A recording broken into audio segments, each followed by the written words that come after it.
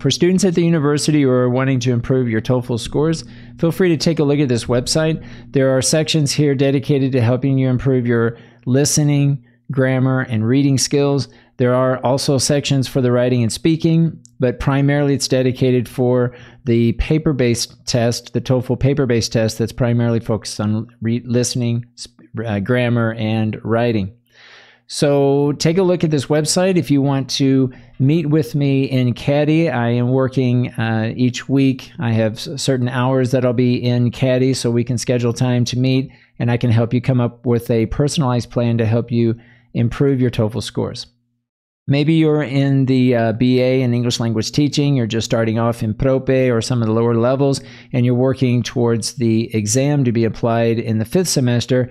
Or perhaps you're in the advanced semesters and you're still working on uh, preparing for the TOEFL to meet the minimum requirement to graduate. You might benefit by having a look at this uh, website and also reaching out to me if you want uh, some additional support.